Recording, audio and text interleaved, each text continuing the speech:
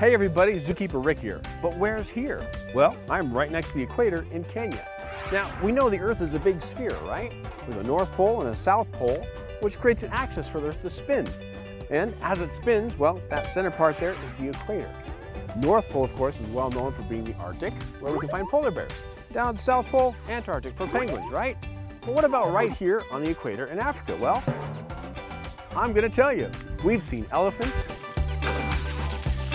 rhinos, both black rhino and white rhino,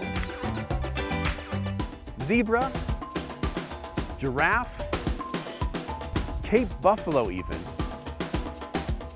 baboons and many other monkey species, and countless birds. One other really cool thing about being on the equator, well, right now I can just walk over to the southern hemisphere of the Earth. But I think I'm running out of time, so I'm gonna head home to the Northern Hemisphere. We'll see you guys next time on San Diego Zoo Kids.